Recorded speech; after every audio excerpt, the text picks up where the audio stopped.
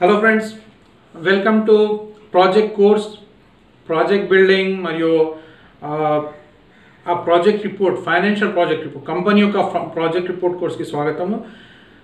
మీరు business develop చేసుకుంటున్నారు మీ కంపెనీలో ఇన్వెస్ట్మెంట్స్ రావాలంటే మీ ప్రాజెక్ట్ ఎలా ఉండాలి మీ ప్రాజెక్ట్ రిపోర్ట్ ఎలా ఉండాలి మీరు ఇన్వెస్టర్స్ దగ్గర వెళ్ళినప్పుడు ఆ ప్రాజెక్ట్ రిపోర్ట్ ఎలా ఉంటే బాగుంటుంది మీకు ఎక్కువ ఇన్వెస్ట్మెంట్స్ ఉంటాయి నేను ఈ కోర్సులో చెప్తున్నాను.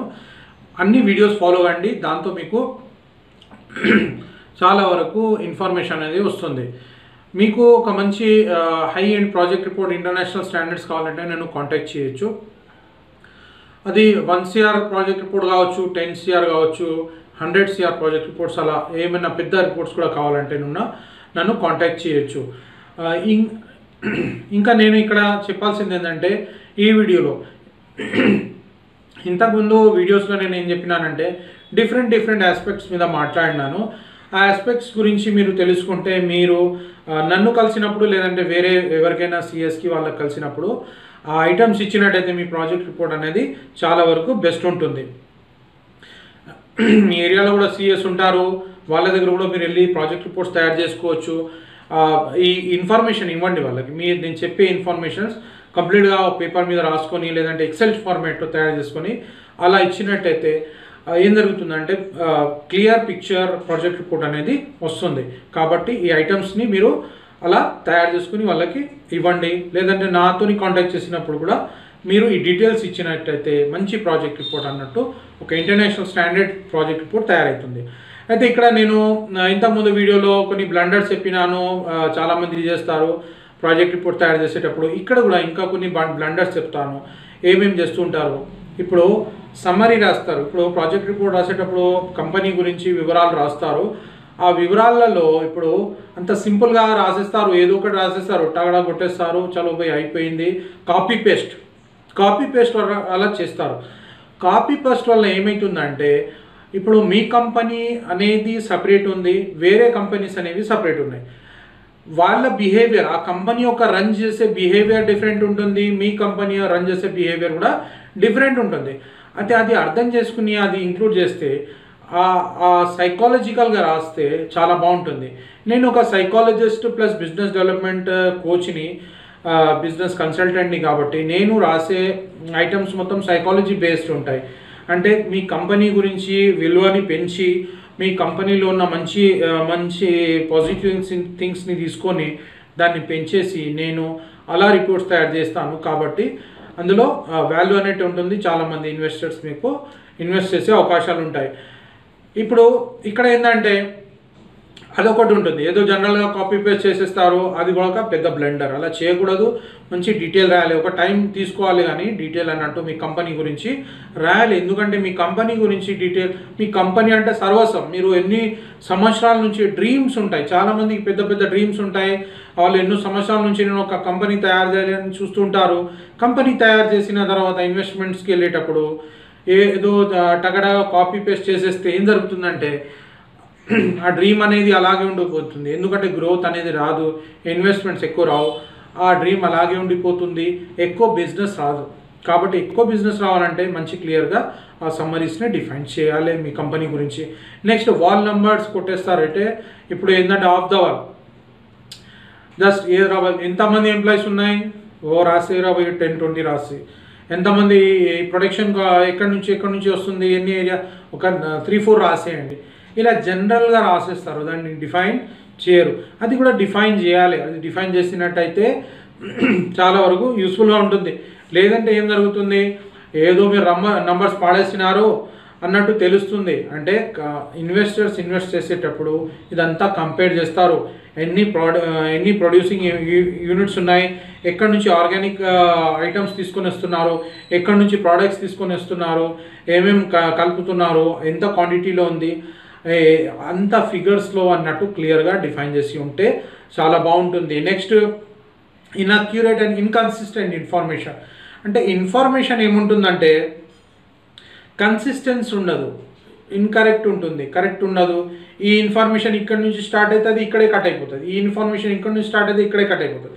అంటే పీసెస్ పీసెస్లో ఉంటుంది. చదివే వాళ్ళకి అది కన్ఫ్యూజన్గా ఉంటుంది. ఒక ఫ్లోలో ఉండదు. ఇప్పుడు మనం మీరు ఎక్కడైనా వెళ్తున్నారు రోడ్ ఉంది. రోడ్లో వెళ్తున్నప్పుడు పది చోట్ల మీకు డైర డైవర్షన్ ఎలా అనిపిస్తుంది? ఇక్కడ నుంచి వెళ్తున్నారు మళ్ళీ డైవర్ట్ చేసి ఇటు వెళ్ళాలి. ఇక్కడ నుంచి వెళ్తున్నారు వెళ్ళేది ఇటే. కానీ పది చోట్ల మీ రోడ్ బ్రేక్ ఉంటే ఎంత బాధగా ఉంటుంది. అలాగే ఇన్వెస్ట్మెంట్ ప్లాన్ రాసేటప్పుడు ఇన్వెస్టర్స్కి ప్లాన్ రాసేటప్పుడు ఆ బ్రేక్స్ ఉండకుండా ఒక ఫ్లో లాగా రాసినట్టయితే చాలా యూస్ఫుల్గా ఉంటుంది. అందులో ఎక్కువ మంది ఇన్వెస్ట్మెంట్స్ మీకు చేసే అవకాశాలు ఉంటాయి. నెక్స్ట్ ఏముంటుందంటే ఆ అండర్ ఎస్టిమేట్ ఎక్స్పెన్సెస్ ఎక్స్పెన్సెస్ని అండర్ ఎస్టిమేట్ చేస్తారు. ఎక్స్పెన్సెస్ అంటే ఇప్పుడు ఏదో పోయి కంపెనీ స్టార్ట్ చేసేద్దాము ఏదంటే మన కంపెనీ ఏదో రన్ అవుతుంది ఫ్యూచర్లో ఇంత ఎక్స్పెన్సెస్ అవుతుందా కాదా అన్నట్టు జస్ట్ వాళ్ళకి ఓవరాల్గా చెప్పేస్తారు. క్యాల్కులేట్ చేయరు క్యాల్కులేట్ చేయాలి.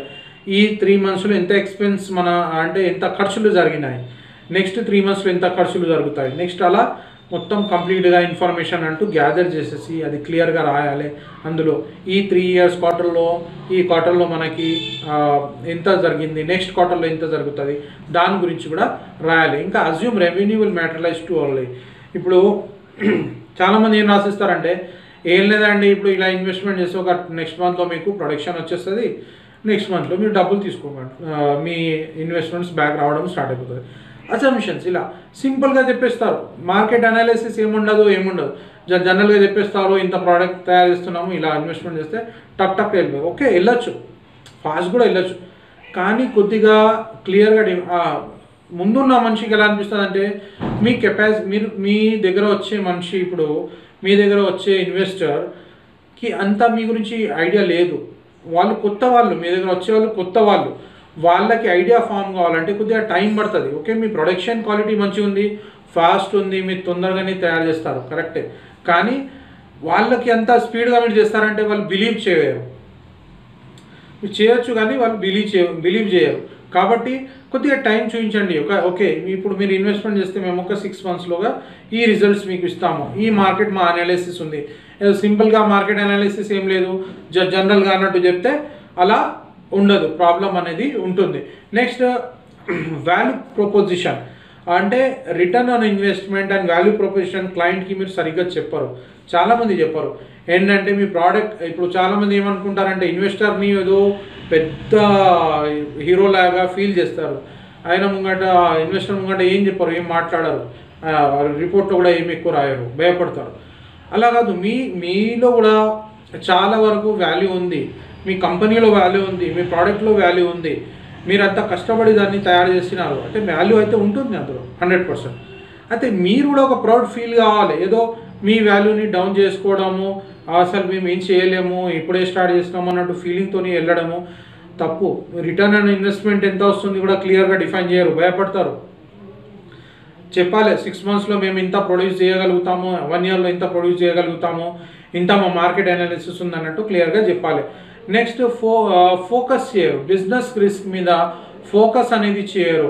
ఎటువంటి రిస్క్ వచ్చి రావచ్చు. ఇప్పుడు కెలామిటీస్ ఉంటాయి. నేషనల్ కెలామిటీస్ కూడా ఉంటాయి. ఇప్పుడు వర్షాకాలంలో బిజినెస్ అనేది డౌన్ అయిపోతుంది. ఇప్పుడు మీరు సపోజ్ చేయండి ఇన్వెస్ట్మెంట్ తీసుకున్నారు. వర్షాకాలం ఉంది. అక్కడ నుంచి సరుకులు తీసుకురావాలి. ఇక్కడ నుంచి ఆర్గానిక్ ఐటమ్స్ తీసుకురావాలంటే కష్టం అవుతుంది లేట్ అయిపోతుంది. డిలే అవుతుంది. అక్కడ తడిసిపోతున్నాయి. అది మళ్ళీ ఎండబెట్టాలి. అలా చాలా ప్రోడక్ట్స్ ఉంటాయి. అంటే అప్పుడు ఏం జరుగుతుందంటే ఆ ఐటమ్స్ మీ దగ్గరికి రావు లేట్ అయిపోతుంది. అయితే అక్కడ మీరు కరెక్ట్గా బిజినెస్ రిస్క్ని చెప్పరు. అది కూడా చెప్పాలనేది ప్లాన్లో ఉండాలి. నెక్స్ట్ టెక్నాలజికల్ జాగ్రౌండ్ ఒకటి అనేది ఉంటుంది. టెక్నాలజీ జాగ్రౌండ్ అంటే ఇప్పుడు టెక్నాలజీని అండర్స్టాండ్ ఇంతవరకు చేసినారు మీరు. మరి మీకు నాలెడ్జ్ ఉందా లేదా? జస్ట్ జనరల్గా చెప్పడం. ఏంది మషిన్స్ పెట్టినాము? ఇప్పుడు ఇట్లా బటన్ నొక్కగానే స్టార్ట్ అయిపోతుంది ప్రొడక్షన్ వచ్చేస్తుంది. అలా కాదు. అంటే ఓవర్గా చెప్పడము అలా ఉండకూడదు. మీరు దానిలో కూడా చెప్పాలి మా దగ్గర ఈ టెక్నాలజీ ఉంది దానికోసం ఇంజనీర్స్ ఉన్నారు. ఈ ఇంజనీర్స్ ఈ క్వాలిఫైడ్ ఇంజనీర్స్ ఉన్నారు కాబట్టి ఆ టెక్నాలజీ హండ్రెడ్ పర్సెంట్ ఫ్యూచర్లో పెద్ద ఎత్తున మీకు ప్రొటెక్షన్ ఇచ్చే అవకాశం ఉంటుంది. కనుక మీరు ఇన్వెస్ట్మెంట్ చేయొచ్చు అన్నట్టు చెప్పగలగాలి. నెక్స్ట్ ఏంటంటే గ్రామటికల్ మిస్టేక్స్ కావచ్చు ప్రజెంటేషన్ పోర్ ప్రజెంటేషన్ అంటే పేపర్స్ కనుక మంచిగా ఉండకపోవడము లేదంటే మొత్తం మీరు రాసిన మ్యాటర్లో గ్రామర్ మిస్టేక్స్ ఆ మిస్టేక్స్ ఈ మిస్టేక్స్ కూడా చాలా వరకు రిపోర్ట్స్లో ఉంటాయి. అవి కూడా చూసి కూడా బిజినెస్ అన్నట్టు జరగదు.